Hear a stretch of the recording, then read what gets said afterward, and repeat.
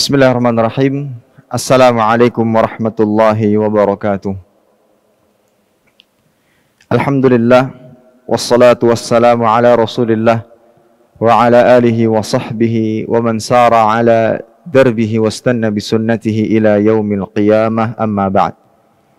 Ikhwatal iman, a'azzani Allah wa iyyakum jami'an. Alhamdulillah senantiasa kita panjatkan puja dan puji syukur kepada Allah taala atas segala kenikmatan yang Allah limpahkan kepada kita.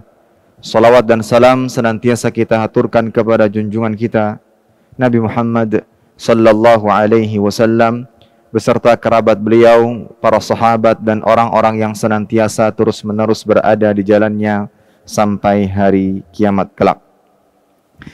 Ikhwatal iman, a'azzani Allah wa iyyakum jami'an. Alhamdulillah kembali kita melanjutkan pembacaan kitab Riyadhus Salihin min kalami Sayyidil Mursalin yang ditulis oleh Imam An-Nawawi rahimahullahu taala dan alhamdulillah sebagaimana yang telah diinformasikan sebelumnya bahwa pada hari ini kita masuk bab baru dari kitab ini yaitu bab ketujuh keyakinan dan tawakal. Keyakinan dan tawakal. Baik ikhwatal iman yang dimuliakan Allah Subhanahu wa taala, ada yang menarik kenapa penulis rahimahullah taala menggabungkan antara keyakinan dan tawakal. Kenapa tidak dijadikan satu bab yang tersendiri. Seperti bab keyakinan, kemudian setelahnya bab tawakal.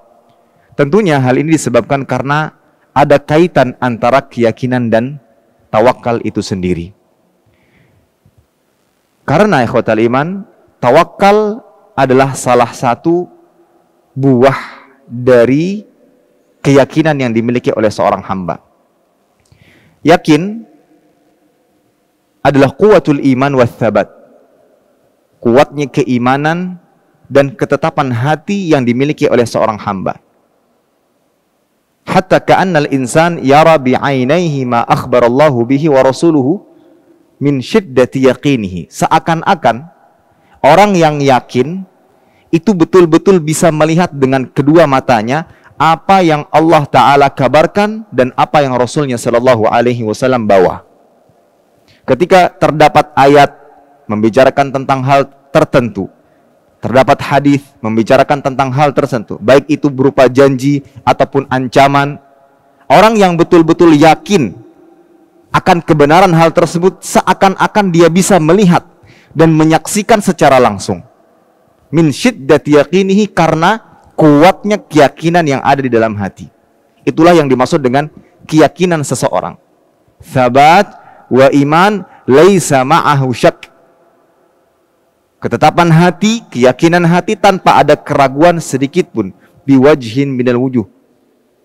Tanpa ada keraguan sedikit pun. Maka ketika dia mendapatkan ayat ataupun hadis dari Nabi Shallallahu Alaihi Wasallam, maka yang ada dalam hatinya adalah keyakinan yang kuat, yang itu mendorongnya untuk senantiasa taat kepada Allah Subhanahu wa Ta'ala.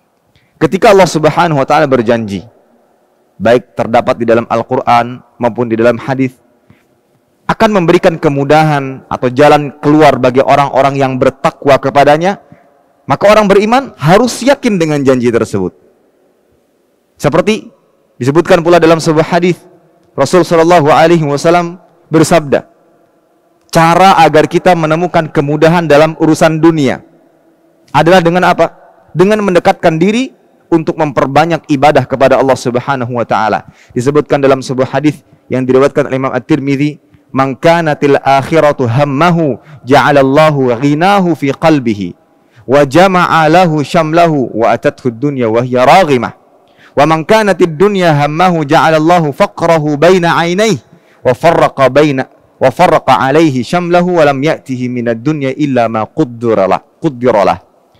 Kata Nabi Shallallahu Alaihi Wasallam, barang siapa yang akhiratnya menjadi tujuan, Allah Taala akan jadikan rasa kecukupan dalam hatinya. Allah Subhanahu Wa Taala akan kumpulkan baginya urusan-urusan yang tadinya terpecah belah. Allah akan mudahkan, Allah akan luruskan, dan dunia akan mendatanginya dalam keadaan hina dan mudah untuk didapat. Ketika kita dekat dan senantiasa beribadah kepada Allah Subhanahu Wa Taala.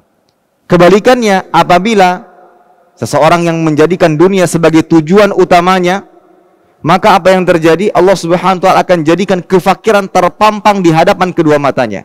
Allah akan cerai beraikan urusannya dan dunia tidak akan datang kepadanya kecuali apa yang ditakdirkan untuknya. Nah, orang yang memiliki keyakinan di dalam hati yakin akan kebenaran berita di atas, dia tidak akan pernah tamak dengan dunia, tidak akan pernah. Justru dia akan semakin taat dan semakin dekat kepada Allah Subhanahu wa taala karena dia yakin segala urusan dunianya akan mudah dan dunia akan datang kepadanya. Betul-betul harus yakin. Nah ini khotal iman Allah subhanahu wa ta'ala. Nah dengan keyakinan tersebut, maka akan membuahkan berbagai kebaikan-kebaikan, amal kebaikan di antaranya adalah tawakal.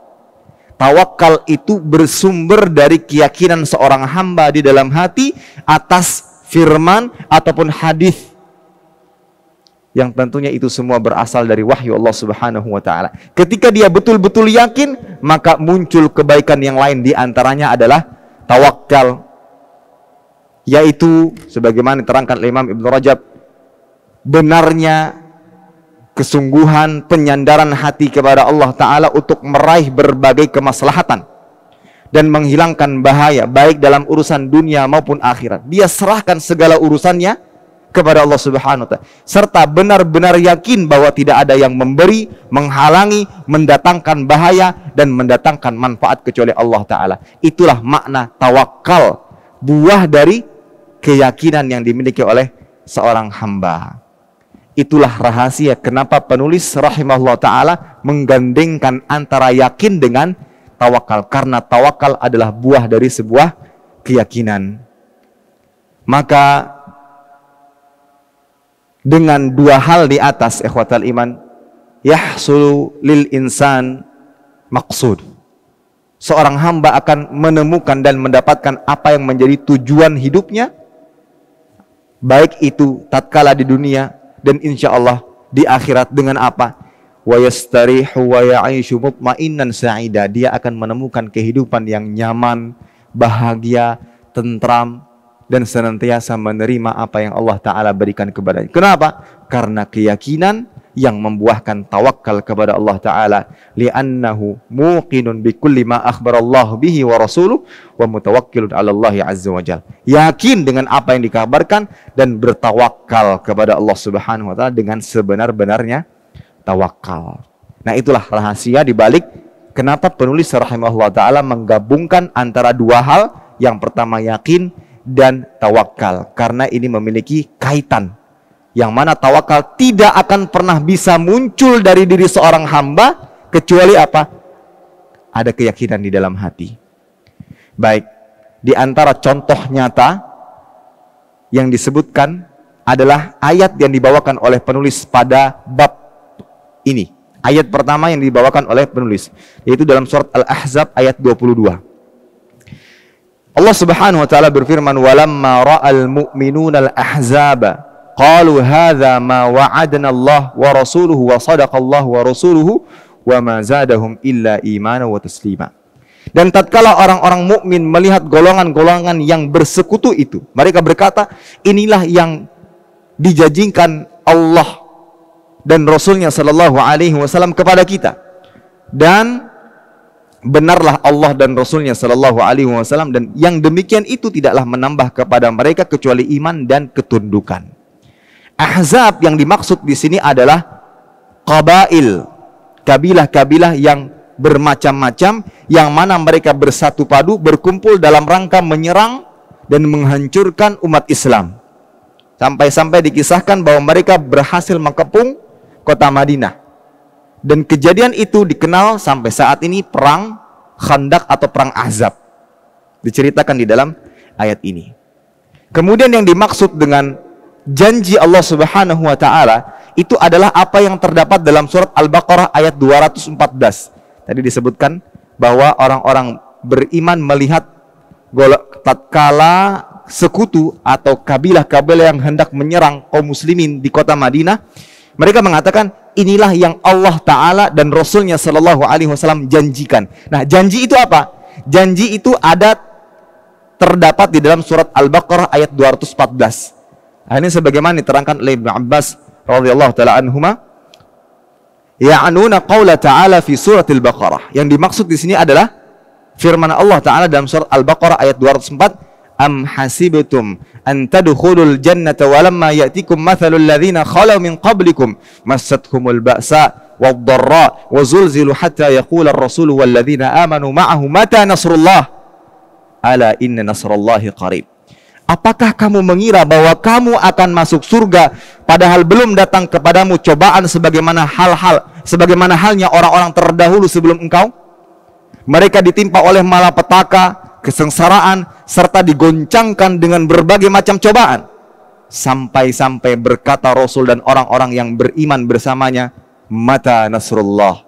Kapan pertolongan dari Allah Subhanahu? Kenapa? Karena saking beratnya ujian yang dihadapi. Kemudian Allah Ta'ala mengatakan, Ala inna nasrallahi qarib. Sesungguhnya pertolongan Allah itu amatlah dekat. Ini janji Allah. Kesulitan apa pun yang akan dihadapi oleh orang-orang beriman, pertolongan Allah dekat. Ya. Maka berdasarkan kisah di atas, yaitu kejadian kondisi perang Ahzab, maka manusia kala itu terbagi menjadi dua macam. Terbagi menjadi dua golongan karena kondisi saat itu sangat menakutkan. Bahkan disebutkan di dalam Al-Quran, mereka digoncangkan dengan goncangan yang sangat kuat. Sehingga mereka ada sebagian yang menyangka terhadap Allah dengan prasangkaan yang macam-macam. Karena saking beratnya ujian yang mereka hadapi ketika berada dalam kondisi tersebut. Oleh karena itu manusia Manusia pada saat itu terbagi menjadi dua macam. Yang pertama, orang-orang munafik. Orang-orang munafik ini disebutkan dalam surat Al-Ahzab juga ayat ke-12. Mereka mengatakan tatkala menghadapi kondisi demikian, wa id yaqulul munafiquna walladzina fi qulubihim marad ma wa'adana Allah wa rasuluhu illa ghurura.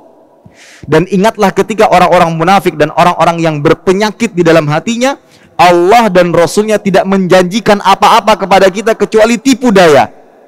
Mereka menganggap bahwasanya apa yang disebutkan dalam surat Al-Baqarah tadi, ya, adanya pertolongan, itu seluruhnya adalah tipu daya dari Allah dan Rasulnya Shallallahu Alaihi Wasallam, sebagaimana yang dikatakan oleh orang-orang munafik. Mengapa muncul hal tersebut? Karena tidak ada keyakinan di dalam hati. Ketika tidak ada keyakinan di dalam hati, tidak ada usaha, tidak ada tawakal. Akhirnya apa? Muncul putus asa. Nah itu. Muncul keputusasaan. Kemudian ah mati sudah. Gak mungkin kita bisa melawan bala tentara yang begitu banyak. Mati sudah. Tidak yakin terhadap janji Allah Ta'ala yang pada akhirnya tidak tawakal dan tidak mau berusaha. Ya, tidak mau berusaha. Seakan-akan mereka mengatakan, "Kaifa yaqulu Muhammad innahu sayaftah Kisra wa Qaisar wa Sana'a?" Bagaimana mungkin bisa Nabi Muhammad Sallallahu alaihi wasallam mengatakan kita akan buka itu Kisra, kita akan buka itu Kaisar, Sana'a. Sementara huwal an muhasar fi min haula'in nas. Sementara beliau saat ini sedang terkepung oleh tentara-tentara orang-orang kafir ketika di perang Khandaq. Tidak mungkin. Saking beratnya ujian saat itu, orang-orang munafik tidak percaya dengan dan tidak meyakini apa yang dijanjikan oleh Allah Subhanahu wa taala. Nah, ini pentingnya keyakinan sebelum bertawakal kepada Allah Subhanahu wa taala. Tidak akan pernah mungkin seseorang bisa bertawakal dengan benar ketika dia belum yakin atas janji Allah Subhanahu wa taala. Ini golongan yang pertama. Yang kedua adalah orang-orang beriman. Justru orang ber, beriman ketika mendapatkan ujian berat seperti itu, kondisi yang mereka hadapi ketika perang Khandaq, apa yang mereka katakan? Seperti yang dikatakan di dalam ayat tadi. Justru mereka mengatakan ini janji Allah dan Rasulnya Shallallahu Alaihi Wasallam. Bukan semakin takut, bukan semakin bimbang, justru semakin yakin. Inilah kondisi di mana kita mudah-mudahan mendapatkan sebab bisa masuk ke dalam surga, mendapatkan ujian yang berat.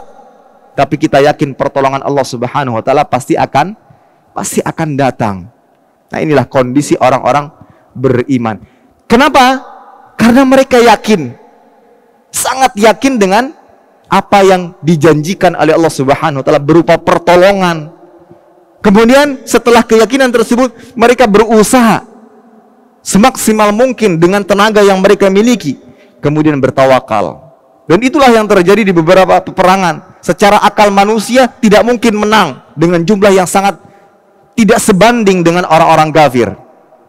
Tapi karena mereka yakin akan pertolongan Allah Subhanahu wa taala membuat mereka apa? Berusaha semaksimal mungkin kemudian bertawakal dan berserah diri kepada Allah Subhanahu wa taala.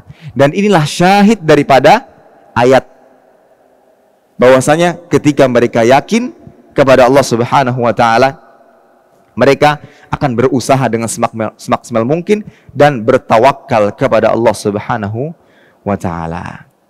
Ghayah memiliki keyakinan yang sangat tinggi, yang sangat tinggi yang pada akhirnya mereka menjadi hamba yang betul-betul bertawakal kepada Allah Subhanahu wa taala. Adapun orang-orang yang ragu-ragu atau tawakalnya atau keyakinannya kurang, maka tidak akan pernah bertahan dengan segala macam ujian.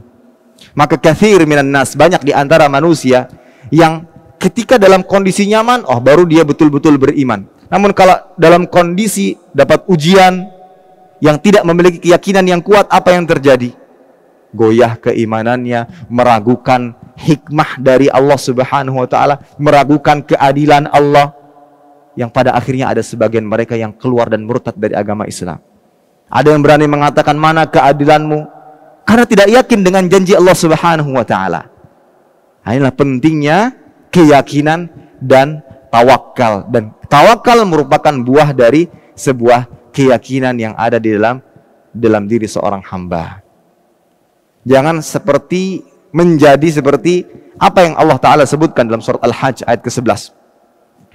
Wa minan nas may ya'budullah ala harf Fa in asabahu khair itma'anna bihi wa in asabathu fitnah inqalaba ala wajhihi khasirat dunya wal akhirah dzalika huwal khusranul mubin.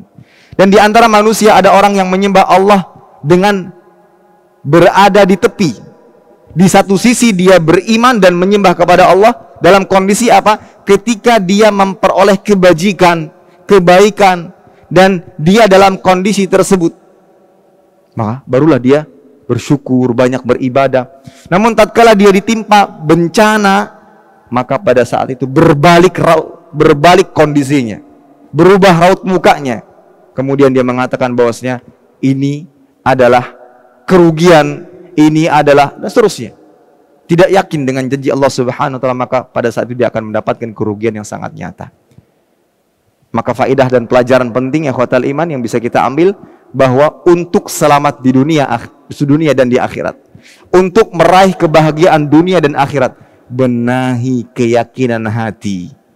Benahi keyakinan hati. Apa saja yang datang dari Allah dan Rasulnya Shallallahu Alaihi Wasallam yakini dengan baik-baik. Baik itu berupa janji akan kenikmatan yang Allah Taala janjikan ancaman akan siksaan bagi orang-orang yang melanggar aturan kemudian kita berusaha untuk tunduk dan patuh kepada Allah Taala yakini hal tersebut. Itu yang akan mendorong kita untuk senantiasa tunduk dan patuh kepada Allah Ta'ala dan senantiasa mengikuti ajaran Rasulullah Sallallahu Alaihi Wasallam. Wallahu alam bisawab. Ini kiranya bisa saya sampaikan. Mudah-mudahan bermanfaat. Kurang dan lebihnya mohon maaf. Kita tutup dengan doa kafaratul majlis. Subhanakallahumma bihamdika asyhadu an la ilaha illa anta astaghfiruka wa atubu ilaik. Assalamualaikum warahmatullahi wabarakatuh.